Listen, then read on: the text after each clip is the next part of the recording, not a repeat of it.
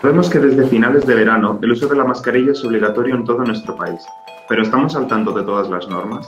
Hemos realizado una serie de entrevistas a algunos estudiantes de nuestra universidad para averiguar si están bien informados y para analizar sus opiniones en comparación con las de algunos estudiantes de origen asiático.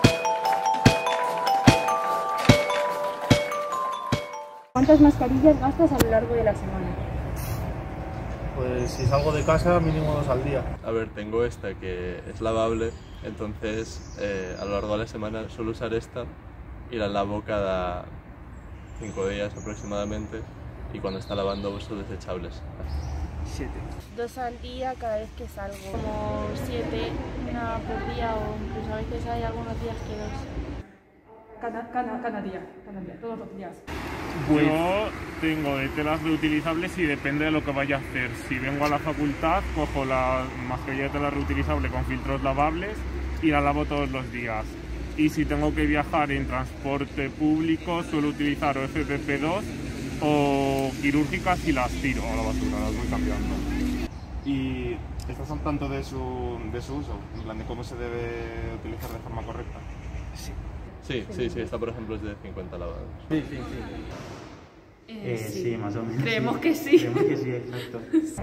Cuatro horas se supone que es lo más. Sí, cada cuatro horas. Pues las de tela sí que es verdad que hay que tener en cuenta que depende qué mascarilla sea, tienes que saber si es homologada o no es homologada, porque por ejemplo esta que es de Adidas, este tipo de mascarillas no están homologadas, por lo tanto tienes que meter tú el filtro, en plan no te puedes meter esta mascarilla, no puedes ponerte esta mascarilla sin un filtro, porque no tendría ningún tipo de uso, o sea, la gente tiene que saber qué compra y cuándo lo utiliza. Yo sé que tiene un límite, pero sé que hay que airearlo a veces si tienes que quitarte en algún momento y tal, pero no usarlo mucho, eh, mucho tiempo ni nada, eso sí que lo sé. Eh, ¿Eres partidario más de las mascarillas de tela o de las quirúrgicas? De las quirúrgicas. Claro, de tela, porque se respira mejor, quirúrgica. Sí, depende. En Madrid eh, uso la quirúrgica siempre. Cuando estoy en el pueblo uso la de tela. Cómoda. Quirúrgicas. Y si uso de tela, eh, si eso cortaría la quirúrgica o metería la quirúrgica dentro. A mí me gustan más las de tela, porque con la quirúrgica muchas veces, sobre todo en Madrid, no me siento del todo seguro. ¿Por qué? Pues no lo sé, o sea, sé que está homologada, que sirve y todo, pero mm, me siento más protegido con una, con una de tela. Quirúrgica. ¿Por qué motivo? Ofrece mayor seguridad. Yo las quirúrgicas porque siento que voy más protegido, no sé hasta qué punto lo son, pero yo lo que tengo entendido es que estas, por ejemplo, son las más eficientes, por así decirlo, no sé si es verdad. o. O sea, las quirúrgicas al fin y al cabo es como que te la pones y es una tela bastante más, no es tela, pero es bastante más fino. Entonces es como que tú tienes la sensación de que parece que tienes menos protección. Entonces al llevar una de tela, una FFP2, te sientes, en plan sientes como que transpiras menos aire y que estás más protegido. Eh, de tela, aunque, bueno, de tela. ¿Y es por algún motivo en especial o simplemente porque te resulta más fácil ponerte una quirúrgica? Ah, la quirúrgica me, me resulta más fácil. Porque, no sé, como que me siento más protegida. En tu caso que has dicho que prefieres las de tela, ¿cómo las prefieres? Eh, ¿Lisas o de alguna marca o, o tema en concreto? Eh, pues me gustan de todas formas, de marca, de sin marca, con dibujitos, sin dibujitos, lo que pille. Si me gusta, la compro. Yo sinceramente negra porque pega con todo. Color de, negra o blanca porque son los más fáciles de poner. La elijo en ese sentido porque por estética y al ser no ser azul o blanca o verde. ¿Crees que en ese caso la que eliges va acorde con tu personalidad y a lo mejor con los mm, gustos preferentes que tienes, como una forma de expresarte? Sí, es un complemento más, creo yo. Al principio, eh, cuando no se manejaba tanta información, o sea, cuando eh, en un primer lugar se dijo que la mascarilla no era obligatoria, luego que era recomendable y ya pasa a ser obligatoria, en, en esos primeros momentos, ¿tú eres partidaria de poner la mascarilla o no la llevabas? Sí, sí, sí, yo la llevaba siempre. Sí, sí la usaba, pero sí es verdad que por la calle no la llevaba todo el rato, sino que me la quitaba un poco. Pero para normalmente sí la llevaba. Pues yo, mira, cuando empezó el confinamiento, que nos quedábamos en casa, las primeras veces que salía a la calle y al supermercado iba sin mascarilla, pero más que nada porque no había. Iba a la farmacia por ellas y no había y me decían, no te podemos vender mascarillas porque no tenemos. Entonces no quedaba otra que salir a la calle sin mascarilla.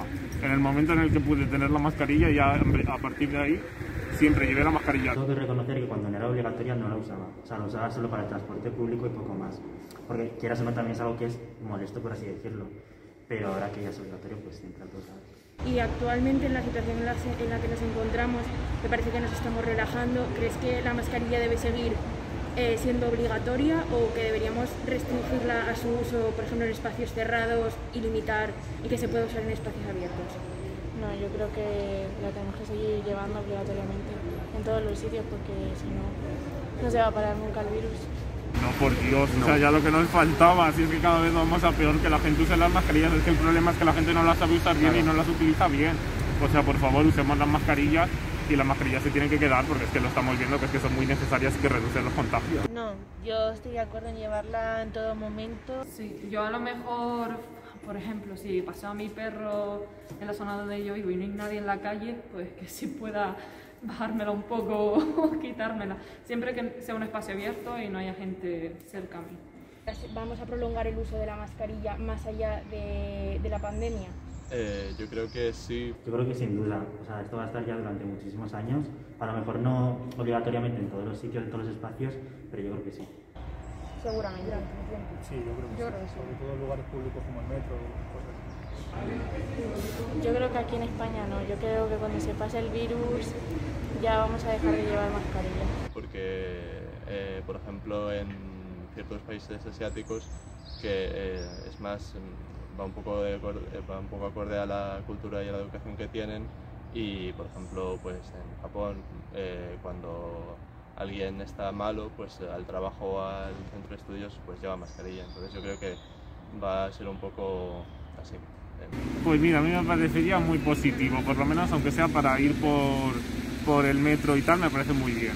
Porque tenemos que tener en cuenta que nosotros no la usamos, nunca, o aquí en, en Occidente no tenemos costumbre de usar mascarillas, pero sí que es verdad que vivimos en ciudades muy contaminadas. Entonces, quieras que no, te estabas tragando todo el aire contaminado siempre que salías a la calle. Entonces, pues bueno, me parece un buen uso para el transporte público y si quieres salir por aquí por Madrid alguna vez y llevarla para reducir esa contaminación de tus pulmones, pues a mí me parece estupendo.